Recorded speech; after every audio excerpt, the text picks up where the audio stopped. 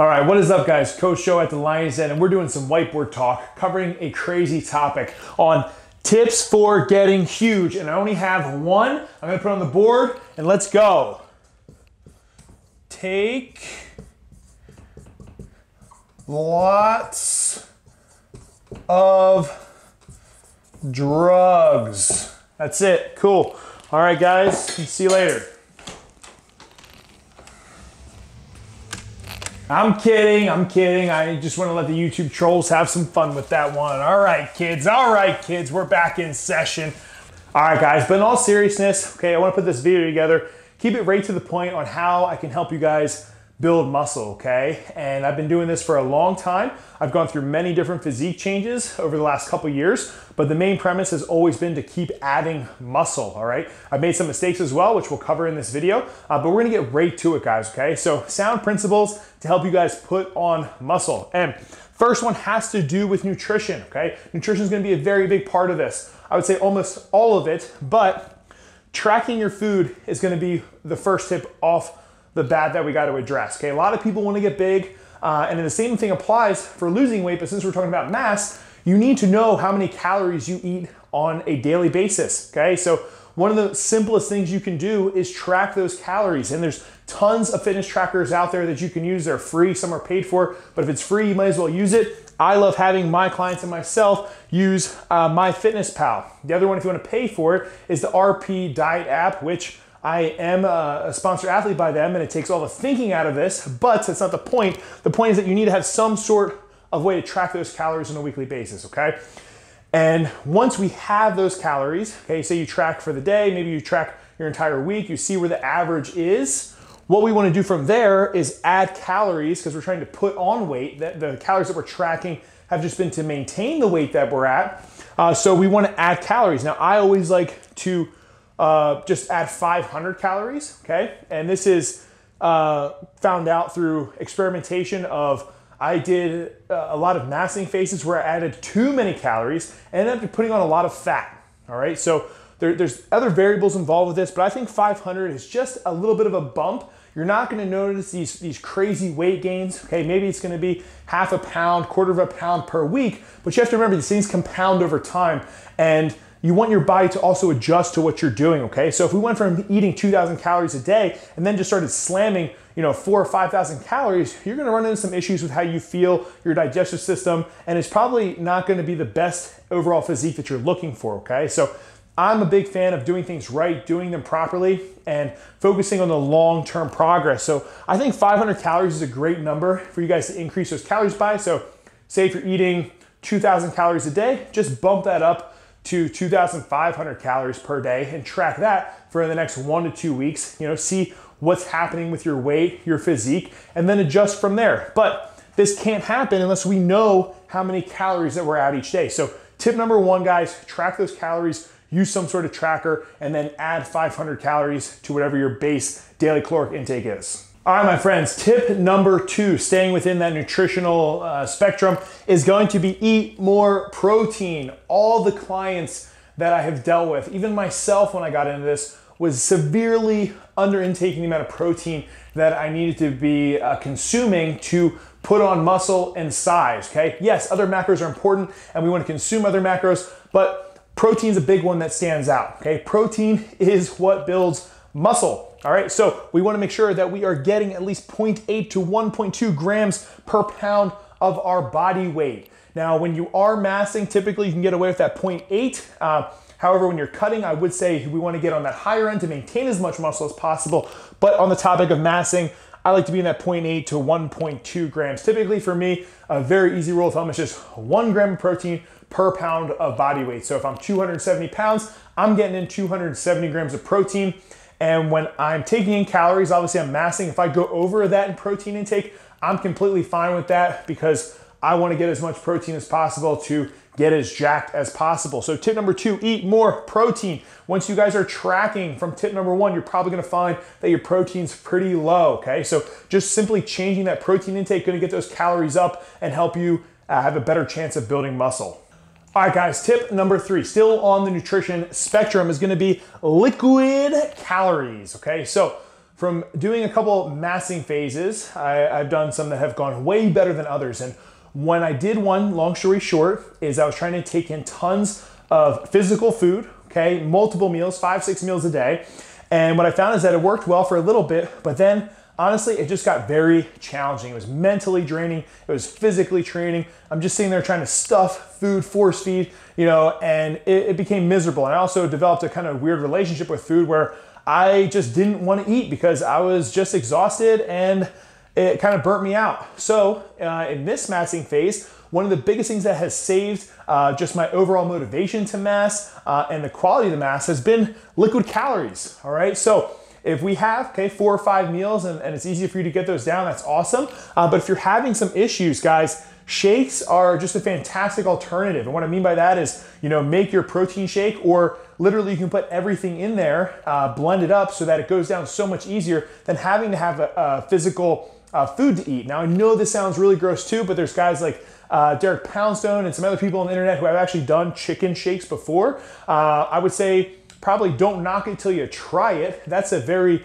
you know, uh, total end of the spectrum thing, but it, it's way easier than taking down two whole chicken breasts on top of your rice, your veggies. When anything is blended or mixed together and it's in liquid form, it's just way easier to consume. And it's a little bit easier on the digestive system as well. So uh, for me, like even it's just a basic protein shake, uh, or you just at the end of the night, you know, maybe you do whatever you want to throw in there to give you that extra you know, uh, amount of calories that you need to be massing, I would highly recommend that just from personal experience. Um, the other thing that's nice is some sort of juice or fruit juice because you know you can get those carbohydrates, you can get those calories in. So if you want to do just adding simply uh, some more calories through uh, juice with a couple of your meals or your breakfast, etc. It can gain uh, a good amount of calories throughout the day. So you may be able to keep everything the same, but just add in a couple glasses of orange juice or apple juice, cranberry juice, whatever whatever you like that has calories uh, and, and, also does have some nutritional value to it. Uh, you can throw that in. This is a big one for me. I, am super weird and I really didn't drink milk. Um, you know, my almost my entire life. I actually drank a lot of I think I drank milk as a kid, like a little kid, because I definitely remember it was cereal. But then at some point we switched over to more drinking almond milk. I think I did go through a little bit of soy milk at some point, so hence why I, am probably half a female. My estrogen levels are through the roof. Kidding. Um, but recently I have been drinking a ton of milk. Okay, and uh, it's worked well for my digestive system. But instead of doing a gallon of milk a day, I basically do. Uh, let's just say eight ounces of milk for a couple meals throughout the day. So that's just gonna add up and give me those extra calories. It's heavily dense in protein, as well as having a little bit of carbohydrates and some fat in there. So uh, just a nice alternative and a, and a, great substance that you can be adding to your massing phases. Uh, last one is if you're, you're having meals and you're trying to get some extra calories in, specifically fats, because fats are gonna be most dense in calories, just putting some oil or olive oil you know, on top of your veggies or your meal can really go a long way for not that much of how much oil you'd actually have to put on there in terms of the calories that you would gain. So just some some food for thought when you're massing of just some uh, things you can you know help uh, better your mass. All right, guys, switching gears, talking a little bit more about programming uh, and less about nutrition. For tip number four is if you want to get massive, you got to program to get massive. And what I mean by that is make sure that your program matches your goals. So for example, if you're trying to put on mass size, okay, you know, get big, look big, feel big and strong, you probably don't want to have a similar program to someone who's doing an Ironman or a marathon or a triathlon uh, or something that's just burning tons and tons of calories and not having a ton of resistance training or barbell training, using weights, etc. Totally cool if that's your thing, but when you're trying to get massive, we want to make sure that it, it follows uh, suit with you know, the training program that we're running. Okay, pretty common sense, but yet again, I see people who are trying to get massive and they're trying to do a million different things. Okay, they're burning tons of calories uh, and they're not specifically focused on what they're trying to get better at or, uh, you know, the results they're looking for. So, um, bit, like I said, big compound movements, you know, strength-based programs uh, are, are going to be king when it comes to putting on mass and size. I love big compound movements. You guys have been following the channel for a long time. There's a reason I do those big compound movements, and I am a strength sport athlete. Okay, it goes hand in hand. Um, not to say that you can't do more bodybuilding or higher volume, which I have right here, because if you do add in some bodybuilding, some higher volume stuff, that's going to definitely help put on size uh, and, and make you bigger, okay? But the main point too, following back to the other tips, is you gotta make sure that you have the calories to do that. So I kind of have over here, it says less movement. What I mean by that, if the goal is to get massive, okay, right, and we're training really hard, uh, and you're super maybe active outside uh, and, and you're burning calories elsewhere, it may be time for you to maybe relax a little bit and dial it back. So yes, focus on your training, your nutrition, uh, but we don't want to keep burning more and more calories doing other things, playing pickup basketball, going and playing flag football, or you're involved with some intramural leagues. Maybe you're walking your dog or riding your bike all the time. Now we're just uh, taking away calories and we're gonna have to eat even more to get there, okay? So look at your lifestyle and your programming and it should match up with the goal that you have um, for the big picture, okay? Uh, the other thing is finding a good split. So more often than not, okay, if you've been training, um, there's, let's just say, uh, been some evidence that training frequency above one time per week per muscle group is going to be great. So someone who is a huge fan of higher frequency, uh, I would definitely say that if you can train something more than one time per week, do it, okay? If you train legs on Monday and by Wednesday or Thursday they're feeling recovered and ready to go, you should hit legs again because you don't wanna miss out on that opportunity to cause an adaptation for growth to get more massive, get more jacked, etc. So if you're doing that bro split, you're not getting very good results, your nutrition's in check, look at your programming, okay? Can you increase the frequency to more than one time per week for those body parts or those lifts, etc. Uh, and try that and see how that works for you. So that's just a quick couple uh, little tidbits on programming to match with your massing phase. All right, guys, tip number five. This is the last little bit of tidbits that we're gonna sprinkle on top of this mass cake that we've been throwing in the Gains kitchen now uh, during this video, okay? And this is gonna be called Come to Terms with Gaining Fat, all right? Gaining fat. We don't wanna get fat, which sometimes people do because they take massing too extreme, but we just wanna be okay with gaining some fat. So if we make gains, right, say we put on 12 pounds, say five to seven pounds that is muscle, the remainder is fat. That's okay uh, because we have to think about long-term progress here. And when we do cut or when we are training, okay, we have put on more size, more mass, more strength, more muscle, and not get so caught up in the fact that, yeah, we put on some weight, maybe our stomach doesn't look as good as it did, um, which there's a whole other thing, probably time your massing uh, seasonally. Okay, so if you're gonna be at the beach all the time, it's probably uh, maybe a little bit better to do a cut during that time versus a mass. That's up to you to figure out. That's the way I look at things. Um, but when you are, you know, gaining that fat, it's okay. It's part of the process. It's not gonna be that way for forever, hopefully, uh, but it's just gonna be what needs to happen when we are massing.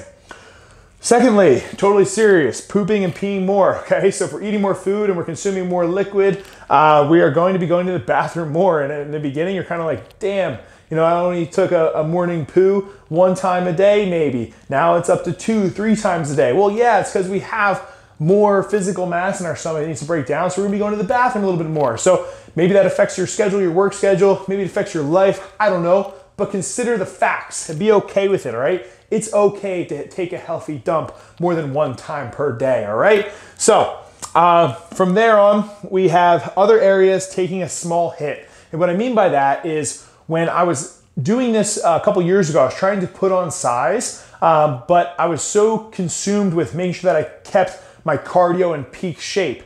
And what I realized is kind of like I said earlier, is I was burning a lot of extra calories uh, trying to keep up with that conditioning. And then I kept trying to eat more, but my weight really wasn't changing much. So now when I mass, uh, I have to hold myself back a little bit, you know, with the conditioning maybe, knowing that I'm trying to focus on putting on quality size and mass and getting better with that. And maybe my conditioning does take a little bit of a hit. Um, that's okay, you know, so just be aware that some other areas may take a hit, but you have to focus on what's the main priority for you during this mass or this phase that you're putting yourself through, okay? So um, just be aware that. It's okay. They may take a small hit, not a big deal. You'll be able to continually make um, different gains in different avenues after you're done your mass. And the last one is just long-term gain, guys. Like you're in this for the, for the long haul. So there's no reason to rush it. There's no reason to add in thousands of extra calories right off the bat. Start marginally. Start like with little baby steps. Okay, creating little uh, little habit changes, behavioral changes, uh, nutritional changes, training changes that are going to add up to the big picture over time. Right? If you do that, you're going to find that your mass phases, or whatever other phases you're doing, are going to just look and feel a lot better than if you rushed into things. Okay, you took these drastic changes. Uh, so just focus on the long-term game. When I think for a lot of us, it's it's to be healthy.